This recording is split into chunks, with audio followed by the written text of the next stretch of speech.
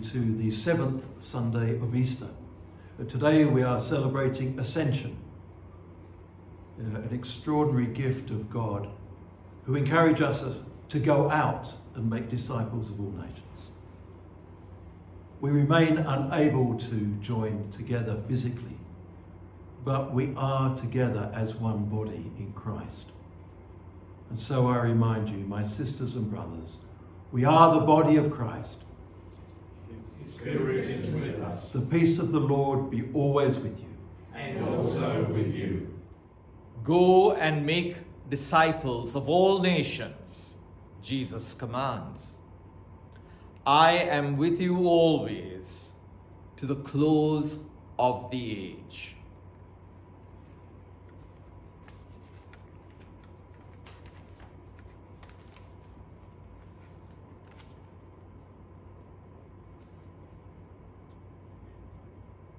Let us pray. Almighty God, to whom all hearts are open, all desires known, and from whom no secrets are hidden, cleanse the thoughts of our hearts by the inspiration of your Holy Spirit, that we may perfectly love you and worthily magnify your holy name through Christ our Lord. Amen. Hear, O Israel, the Lord our God, the Lord is one.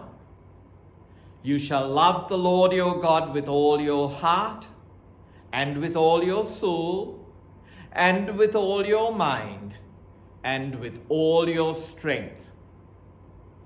Jesus said, This is the great and first commandment, and a second is like it you shall love your neighbor as yourself.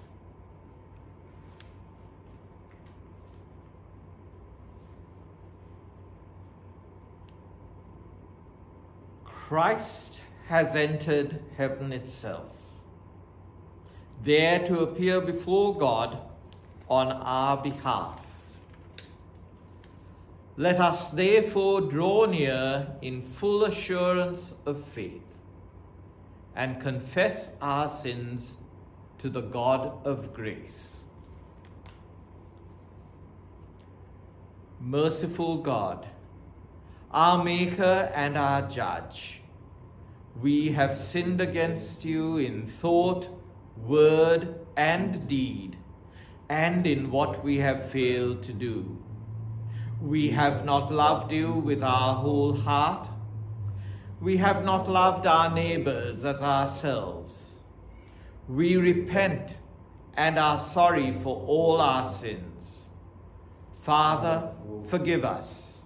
Strengthen us to love and obey you in newness of life. Through Jesus Christ our Lord. Amen. And now the absolution.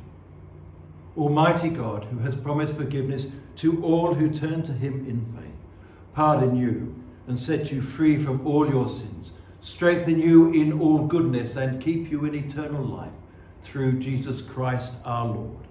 Amen. And now let us pray for all those across the world who are struggling in this broken world. Lord, have mercy. Lord Christ, have mercy. Christ, have mercy. Lord, have mercy. Lord, have mercy. The Collect for Ascension Day. Grant, we pray, Almighty God, that as we have believed your only Son, our Lord Jesus Christ, to have ascended into the heavens, so we may also in heart and mind hither ascend, and with him continually dwell, who lives and reigns with you and the Holy Spirit, one God, in glory everlasting. Amen. Amen. Our psalm today is Psalm 47.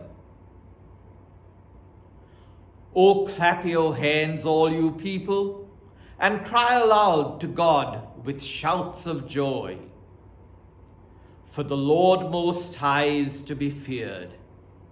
He is a great king over all the earth. He has cast down his peoples under us and the nations beneath our feet. He chose us a land for our possession that was the pride of Jacob, whom he loved.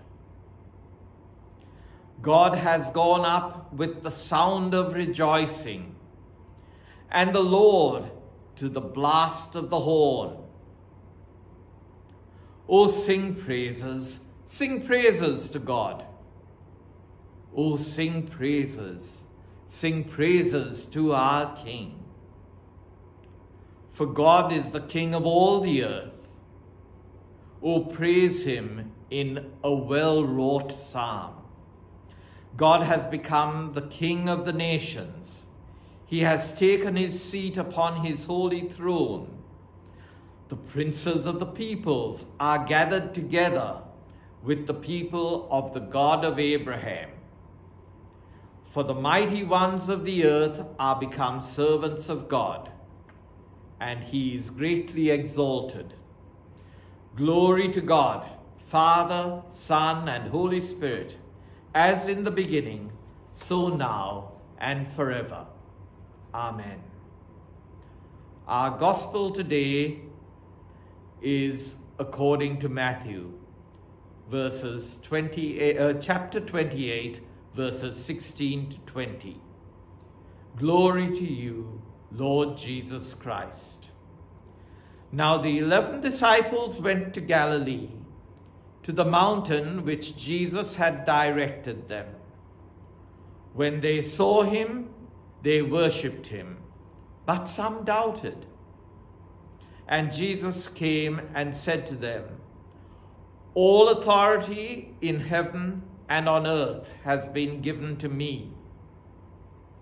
Go therefore and make disciples of all nations, baptizing them in the name of the Father and of the Son and of the Holy Spirit, and teaching them to obey everything that I have commanded you.